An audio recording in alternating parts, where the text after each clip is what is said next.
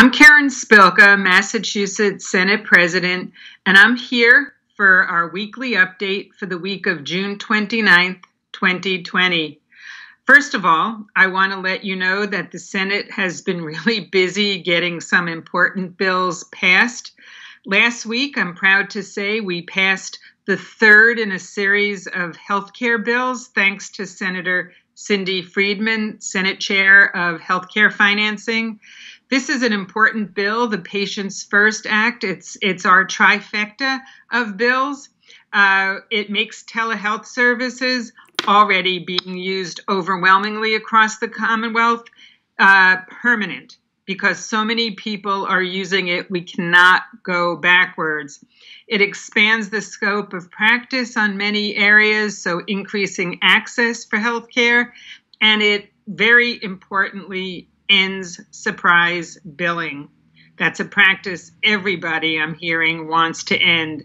So, as I mentioned, it's a third in our series of critical healthcare bills. The first was lowering the cost of pharmaceuticals across the Commonwealth. It would uh, decrease the cost and make it more transparent. We passed that in November of 2019.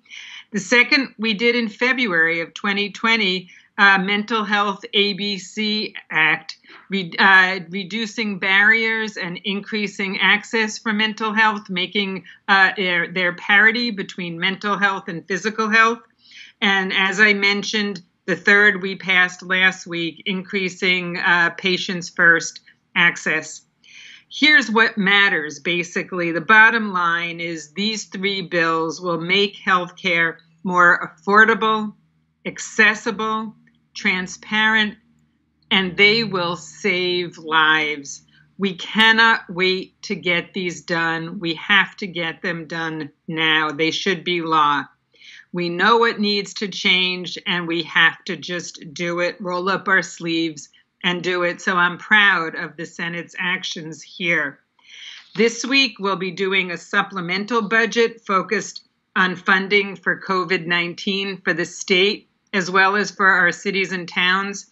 The funding will help areas including rental assistance, childcare, PPEs, the personal protection equipment that's so necessary in a time of this pandemic, community health centers, hospitals, and our vulnerable populations. It also will establish Juneteenth as an official state holiday. Overdue, but we're, we're there. Also on Thursday, we'll be doing the general government bond bill. And I think this is really important. We redirect some of the funding that was in the administration's version and the House version from public safety to create a flexible program aimed at communities, helping communities of color to address systemic inequities that exist in our Commonwealth. We also include $25 million for flexible infrastructure grants for childcare centers.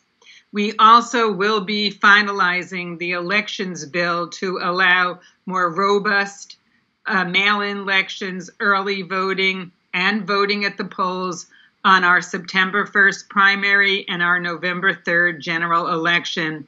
So we have a lot of work to do, but we're looking forward to having a busy week I want to end by wishing everybody good health and stay healthy for you and your families. Have a safe July 4th holiday weekend. Enjoy, but again, remember safe distancing, wear masks, san- use sanitizer, stay safe. Let's keep Massachusetts on this downward trend. Let's not go anywhere to become a Florida or Texas. Thank you, everybody. Be well. Karen Spilka, Massachusetts Senate President, take care.